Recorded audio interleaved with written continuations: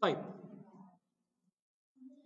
أنا أول ما أبدأ برنامج جديد بيكون عندي إيش؟ البرنامج الرئيسي هي class Program و public static void Main هي الدالة الرئيسية تبعتي. طيب أنا باجي تحت ال class الرئيسي هذا الموجود عندي وبنشئ class جديد.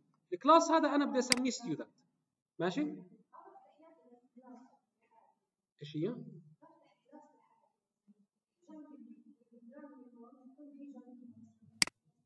لا أنا بدي أعمل class جديد هي هذا اسمه class Student وهذا ال class Program اللي هو تبع البرنامج تبعي.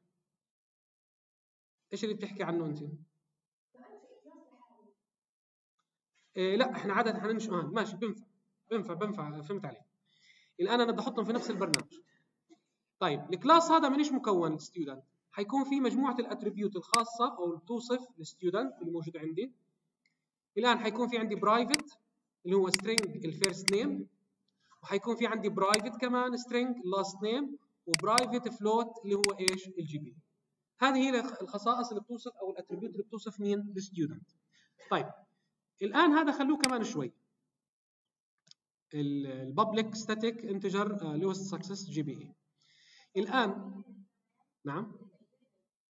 مش مشكلة خلينا على قد هدول نفس الشيء حط ال level حط التخصص كمان ما عندناش مشاكل. نفس الشيء الآن أنا عملت public طبعا هدول كلهم private عملت أنا method جديدة اسمها public student لاحظنا إنه هذه اسمها ال method نفس اسم ال class. معنى هذا إيش حيكون؟ حيكون ال constructor اللي رايحين نستعمل طبعا فقط استخدام ال constructor مع مين؟ مع كلمة new بس بستعملها لمرة واحدة. هل بعد هيك بنقدر يستعملها؟ لا الدوال هذه ما بنقدر نستعملها وما بنقدر نناديها كمان. لحاله مع كلمة new هو لحاله بناديها. واضح؟ مع عملية إنشاء object جديد أو كائن جديد. فقط. طيب هذه حمرر له إيش أنا؟ في عندي ال argument اللي هي string first name و string last name وال float ال GPA الآن باجي بقول له this. ليش أنا مجبر أحط this هنا؟ عشان نفس الأسماء هنا first name وهنا first name. بدي أميز هل ال first name قصدك فيها ال argument ولا قصدك فيها إيش؟ ال attribute اللي خاصة بال class الآن بما إنه أنت خاصة بال class إيش بكتب this حكينا إنه this هذا عبارة عن كلمة محجوزة بتعبر عن ال class الحالي. بتعبر أو بتعود أو بتأشر عن مين؟ عن ال class الحالي. This ال first name يعني قصدك هذا ال attribute يساوي مين؟ ال first name اللي جاي من وين من ال argument this last name يساوي مين؟ ال last name this ال GPA يساوي ال GPA اللي أنا بعثت لك طيب هذه كانت إيش؟ ال constructor method الآن بدي أعمل اثنين constructor ثانيين شو بيعملوا في دالة بدها ترجع التقدير تبع الطالب بناء على مين؟ على ال GP يعني إذا جاء في التسعينات بده يكون ممتاز في الثمانينات جيد جدا في السبعينات جيد مثلا فوق ال 60 بده يكون pass تحت ال 60 بده يكون راسب واضح يا جماعة؟ بده يكون راسب طبعا إحنا بنحدد علامة النجاح من وين؟ في عندي متغير هنا شو سميته؟ سميته public static int lowest success يساوي 60 هذه معناته أقل علامة للنجاح. ماشي؟ Lowest success اي أقل معدل تراكمي للنجاح في المادة. واضح هذا الكلام؟ طيب هنا شو بنعمل؟ جملة if statement عادي زي ما أنتم تعرفوها سابقا. if إيش بقول له؟ this اي يعني ال GP اللي موجود عندك في ال class. أكبر من أو يساوي 90 هذا إيش بدي أقول له؟ رجع excellent عشان هيك الدالة قلت له أنا public string رجع string اللي هو get GP هنا قلت له else if this GPA أكبر أو يساوي 80 رجع very good. إذا كان أكبر من أو يساوي 70 رجع good. إذا كان else if أكبر من أو يساوي مين ال lowest success GPA طيب أنت ليش هنا ما كتبتش this الآن أنا بحق لي أستعملها مباشرة بالطريقة هذه بس هذه بالذات ممنوع أستعمل معها. ليش؟ لأنها static ماشي؟ لا هي ال static حنستعملها برا. خلص سيبونا من ال static الآن. طيب هذه أنا ممكن ما أستعملش ال this لأنه أنا فيش عندي ambiguity. خلص مش يعني معروف مين مين أنا قصدي فيه. ماشي؟ لأنه هي بتستعمل مين؟ المتغير هذا. بيجي بتطلع في ال method هذه. في عندك أنت معرف متغير اسمه lowest؟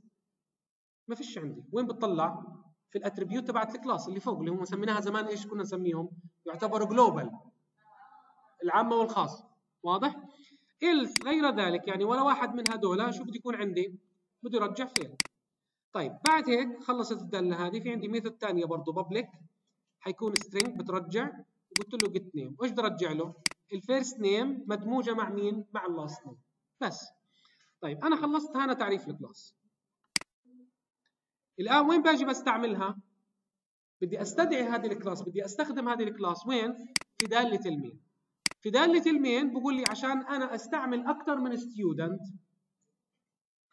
حكينا إحنا ما بدنا نستعمل الطريقة العادية اللي هي ال student هذه.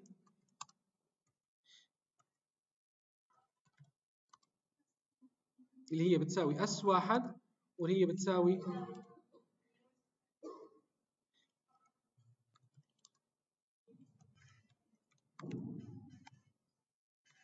بالطريقة هذه. طيب ليش أعطاني error هان؟ ليش أعطاني error هان؟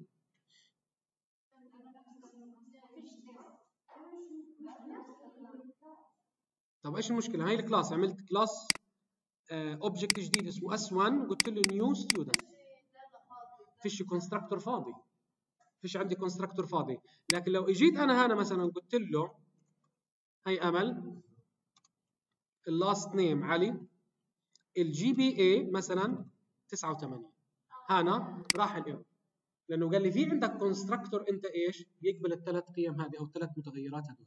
واضح؟ بالطريقة هذه. الآن لو أنا بدي أعرف أكثر من student يعني مثلا بدنا 10 شو لازم أعمل؟ لازم أعمل بالطريقة هذه.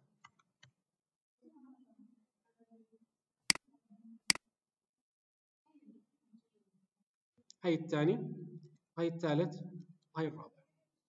لكن لو بدنا 100 برضه هذه مشكلة. يبقى في الحالة هذه شو بدنا نعمل؟ بدي array بدي array of student بنسميها array من نوع بيانات student واضح؟ يبقى هذه العملية مش حتزبط معي. في حالة إذا كان عندي إيش؟ بيانات كثير الآن بدي أقول له student مصفوفة. اسمها students تساوي new student قديش حتاخذ أربع طلاب بس. ممكن أحطها 10 ممكن أحطها 100 واضح؟ طيب الآن كيف بدك تعبي البيانات؟ عرفت أربع متغيرات. ليش هذول عشان أقرأ البيانات من وين؟ من الشاشة. خلي المستخدم هو اللي يدخله. طيب شو بدنا هنا؟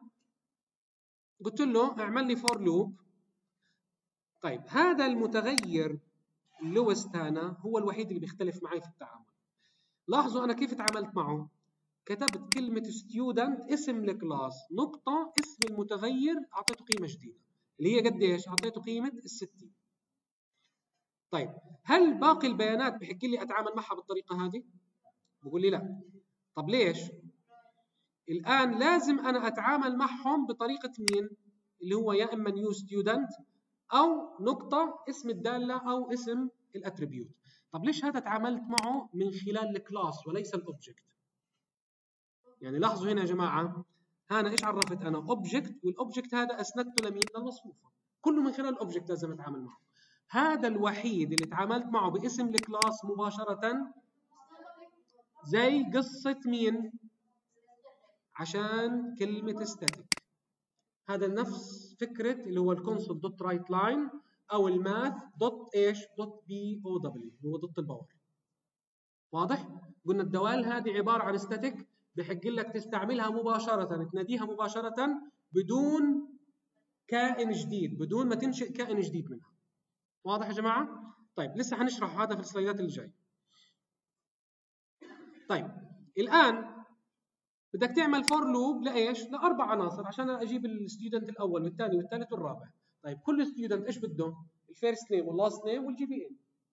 هنا شو بقول له؟ قلت له اقرأ بيانات الطلاب هي ال first name وال last name وال GPA قلت له ReadLine لمين؟ لل first name و ReadLine كمان مرة لل last name و ReadLine بس حولها المرة هذه ل float dot Parse وخزنها وين؟ في ال GP طيب الآن كيف بدي أنشئ؟ class جديد من ال student قلت له student std تساوي new student وبعت له ال first name وال last name وال GPA اللي أنت قرأتهم قبل شوية من الشاشة. وين هذا تخزنه ال std خزنه في العنصر الأول في المصفوفه اللي هو student i يساوي st اللي هو 0 1 2 3 الآن في اللفة الثانية حيطلب منك كمان مرة. ال first name وال last name وال GPA وبرضه بروح بنشئ لي كائن جديد. شو اسمه المرة هذه كمان؟ std الآن ال std هذا كيف بدي أعطيه للمصفوفة؟ بقول له ال std خزنه وين؟ في i واحد في i اثنين في i ثلاثة. هيك الأربعة صاروا موجودين عندي. طيب مالك تعبانة؟ إذا حدا يروح مع حالي يوديه على العياده إيش؟ طيب. الآن بدي أعمل for loop عليهم عشان إيش أسوي؟ أطبع العناصر اللي في داخلها. طيب الآن المصفوفة موجودة فيها student student student صح؟ طب كيف بدي أفوت عليهم؟ بقول لي بدك تتعامل معهم من خلال student dot i اللي هو ال student الأول. بقول له نقطة أعطيني ال get name تخيلوا الرسمة اللي كانت عندي هناك على اللوحه عندي الستودنت الأول الثاني الثالث. الأول بقول له اطبع لي النيم اللي موجود عندك. اطبع لي النيم اللي موجود عندك. حيصير يطبع لي كل العناصر. طيب لو جينا نشوف كيف هذا؟ هاي البرنامج تبعي.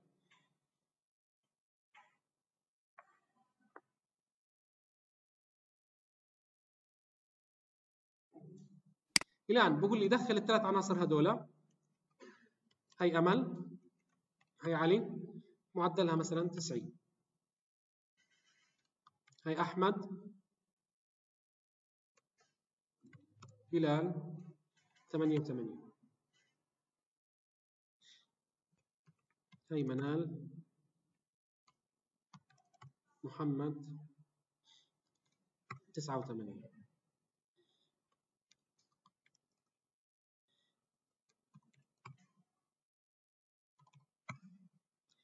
الآن بعد ما دخلنا الأربع طلاب هذول هي بياناتهم اجى قال لي الطالب الأول هي اسمه الأول واسمه الثاني وقديش تقديره؟ لأنه إحنا طبعا قلنا حسب ال grade حسب البيانات أو الدالة اللي عشانها قبل شوي. الاسم الثاني very good الاسم الثالث very good الثالث قديش عندي؟ أنا good واضح هذا الكلام؟